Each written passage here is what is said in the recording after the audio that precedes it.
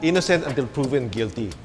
Ito ang isa sa mga pinaka-basic na karapatan ng akusado. Kaya pinapayagan siyang magpiyansa kapag nahuli o bago hulihin matapos sampahan ng kaso para sa kanyang pansamantalang kalayaan. Basta't nangangako siyang sisipot siya sa pagdinig ng kaso kung kinakailangan.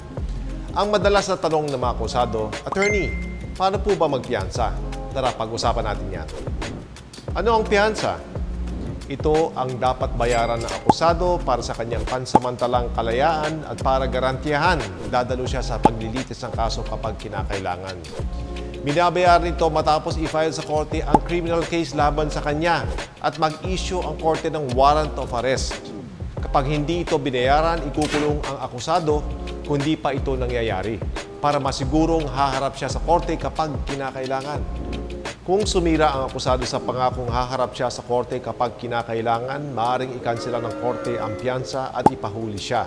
At hindi na niya mababawi pa ang piyansa matapos siyang hatulang may sala o walang sala.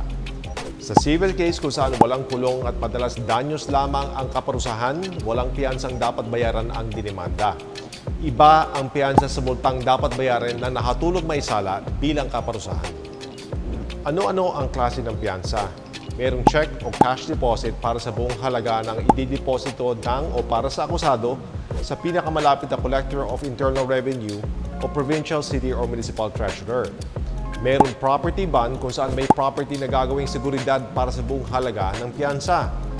Meron surety bond kung saan dapat bayaran ng premium, kadalasan 15 to 35% ng halaga ng piyansa upang bilhin ang bail bond mula sa isang bonding company na kinikilala ng Supreme Court. Maaring hinga ng bonding company ang nagbayad ng prenda ng property bilang seguridad. Maaari din i-waive ng korte ang pagbabayad ng piyansa kapalit ng release on recognizance kung hindi kalalaan ang krimen at kung, dahil sa kahirapan, walang kakayahan ng akusadong bayaran ang piyansa. Bago ma-release ang akusado on recognizance, kung pahihintulutan ito ng korte, mangangako ang akusadong haharap siya sa korte kung kinakailangan. Maaari din siyang ipagkatiwala sa isang qualified at responsible member ng kanyang komunidad para masigurong haharap siya sa korte kung kinakailangan. Ano ang batayan ng korte sa pag-set ng piyansa? Ang mga piskal o prosecutors ang magsiset ng piyansa batay sa bail bond guide ng Department of Justice. Kapag masyadong malaki ang piyansa, maaring mag-file ang akusado ng motion to reduce bail bond Kapag walang piyansa, halimbawa dahil ang parusa para sa krimeng ikinaso ay habang buhay na pagkakulong at sa pananaw ng piskal malakas ang ebidensya na may sala ang akusado, maaring mag-file ang akusado ng petition for bail kung sa paniwala niya hindi matibay ang ebidensya laban sa kanya. Sa pagtalakay ng motion to reduce bail bond o petition for bail, titingnan ng korte ang mga sumusunod. A. Pinansyal na kakayahan ng akusado. B ang krimen at mga pangyayari nang naganap ito. C. Ang parusa para sa krimeng ikinaso. D. Ugali at reputasyon ng akusado. E. Edad at kalusugan ng akusado. F. Bigat ng ebidensya laban sa akusado. G. Kung dadalo ang akusado sa paglilitis. H. Kung sumira ang akusado sa kondisyon ng ibang piyansa. I. Kung akusado ay isang takas ng siya'y arestuhin. At J kung may iba pang kaso kung saan nakapiyansa ang akusado.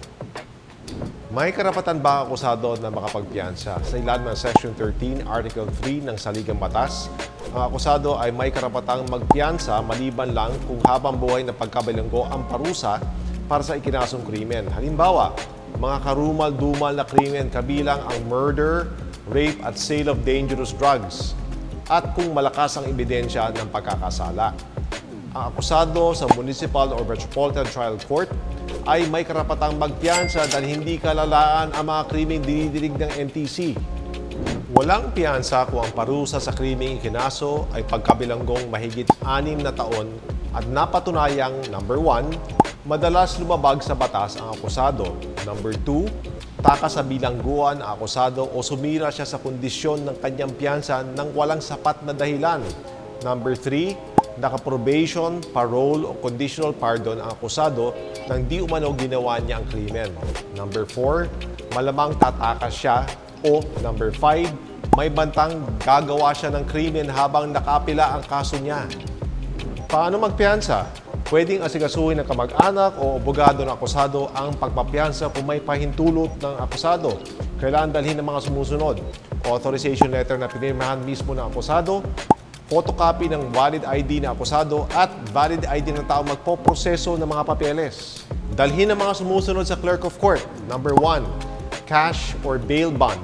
Depende sa itinakdang halaga ng piyansa. Number two, picture or mugshots na akusado.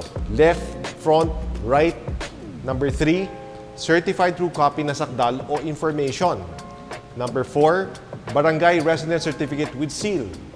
Number five, certificate of detention kung nakadetain ang akusado para sa krimeng ikinaso. Number six, court at prosecution clearances na nagsasabing hindi nakadetain ang akusado para sa ibang krimen. Number seven, undertaking to appear kapag ipinag-utos ng korte na dumalo ang akusado sa korte. Number eight, waiver of appearance maliban lang kung pinag-utos ng korte na dumalo ang akusado sa korte. At number nine, sketch ng bahay ng akusado o mapa na pinirmahan ng barangay captain at may barangay seal. Mababawi ba ng akusado ang piyansa matapos mahatulan? Mababawi ng akusado ang piyansa matapos mahatulang siyang may sala o walang sala kung tumupad siya sa pangako niyang humarap sa korte kapag kinakailangan. Maari bang magpiyansa kapag nahatulang may sala at inapila ang desisyon? Maaring magpiyansa ang akusado bago o matapos siyang hatulang may sala ng Municipal or Metropolitan Trial Court dahil nga hindi kalalaan ang mga krimeng dinidinig ng MTC. Kapag nahatulang may sala ang akusado ng Regional Trial Court o RTC, maaari siya mag-apply na magpiyansa sa RTC bago ipadala ang court records sa Court of Appeals.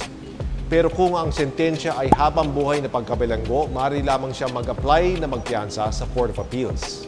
Sana nalimunagan na kayo kung ano ang piyansa. Tandaan, huwag maglakas loob na gumawa ng krimen dahil lang maaari kang magpiyansa. Bagkus, huwag kang gumawa ng krimen para hindi mo na kinakailangan magpiyansa.